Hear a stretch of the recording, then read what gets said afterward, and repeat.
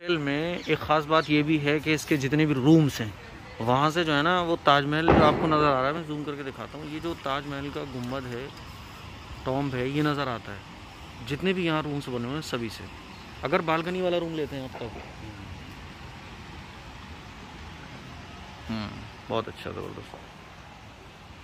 पड़े हुए हैं। सामने है स्विमिंग पूल और बिल्कुल सामने है इसकी बिल्डिंग बहुत ही शानदार लुक आ रहा है माशाल्लाह। और यहाँ से मैं आपको दिखाता हूँ।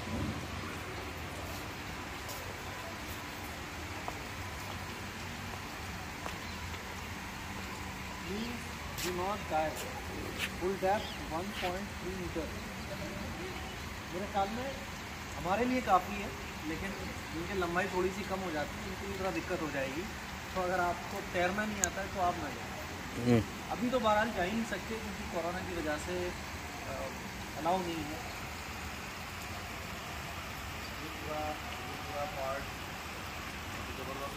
माशा और इन्होंने पानी को ग्रीन ग्रीन बनाने के लिए सॉरी ब्लू बनाने के लिए, एक समंदर वाला लुक देने के लिए अंदर जो है वो ब्लू कलर के पत्थर वगैरह लगाए हैं, जिससे इसका जो पानी का रंग है वो थोड़ा सा ब्लू हो जाता है ब्लू इसमें पहुँच जाता है।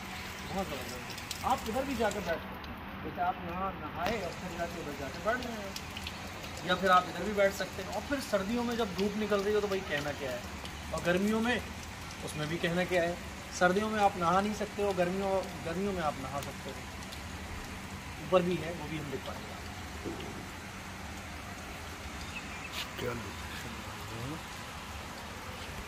हाँ जी जनाब, क्या कह सकते हैं इस व्यू के बारे में? सुबहान अल्लाह बोला जा सकता है। इसके अलावा कोई और लफ्ज़ मेरे तो समझ में नहीं आ रहा कि सुबहान अल्लाह के अलावा कोई और ऑल्टरनेट हो जिसके ज़रिए इसकी तारीफ़ की जा सके। सुबहान अल्लाह कह सकते हैं। बहुत ही ज़बरदस्त पार्क है। सफ़ाई का क्या कहना? आप लेट जाओ, बैठ जाओ, कोई मसला नहीं है, कपड़े पे दाग नहीं आ सकता आपके। और फिर यहाँ से पूरे होटल का व्यू है। पार्क इतना बड़ा है कि शाम को तो बड़ा ही शानदार लगने वाला है। बहुत शानदार, माशाल्लाह, बहुत ज़बरदस्त।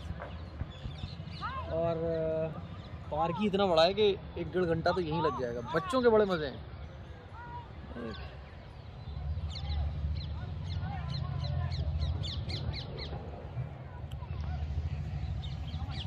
शाम का टाइम है तकरीबन पाँच बज रहे हैं और आज मौसम भी बहुत अच्छा है। शाम में क्या कहना आप मोजे उतारने के बाद जब इस पर चलेंगे ना तो अलग ही मज़ा आने वाला है। कैसा फील कर रहे हैं गद्दा सा महसूस हो रहा है। गद्दा सा महसूस हो रहा है।